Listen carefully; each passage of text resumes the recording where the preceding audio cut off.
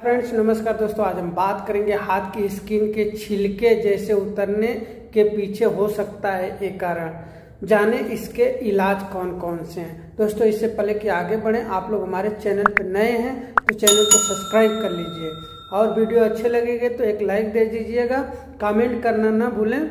दोस्तों, किसी के भी स्किन मतलब हाथ की स्किन या लेयर स्किन का जो लेयर होती है, वो निकलने लगती है। तो उसके कई कारण होते हैं। जैसे सनबर्न हो सकता है, ड्राई स्किन हो सकता है, केमिकल एक्सपोज हो सकता है, एलर्जिक रिएक्शन या सब किसी चीज़ का एलर्जी हो सकता है, डिहाइड्रेशन, पानी कम पीने वालों को हो सकता है, जिनकी ड्राई स्किन होती है, उनको हो सकता है फंगल इन्फेक्शन या इक्जिमा इत्यादि बीमारी होने की संभावना है। इलाज में जैसे मॉइस्चराइजिंग, जो भी क्रीम आती है, उसको अप्लाई करें, गुनगुना पानी से धोएँ, शहद का लेप लगा सकते हैं। लेप लगाने के थोड़े देर के बाद उसको धुल सकते हैं।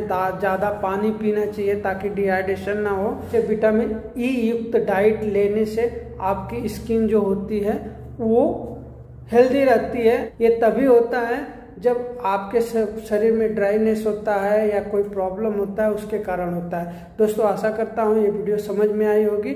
समझ में आए तो एक लाइक ज़रूर दीजिएगा। मिलते हैं किसी और वीडियो तब तक के लिए जय हिंद, जय भारत। नमस्कार।